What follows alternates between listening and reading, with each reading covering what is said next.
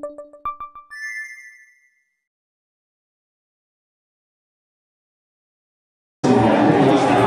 手たちになんか一言そうです。ね、とにかく自分たちの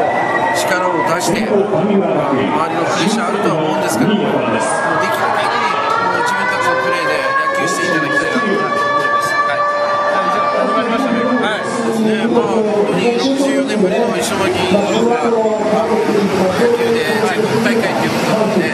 まあ、なんかのタイミングでもあるんで、これを機会に、本当に、まあ、みんなで頑張っていきたいなと思ってます。また震災2年目ということで1年目とまた違った感じで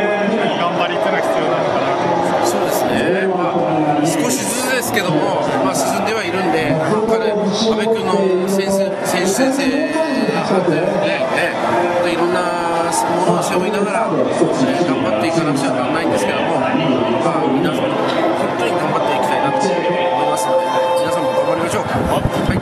りがとうございます。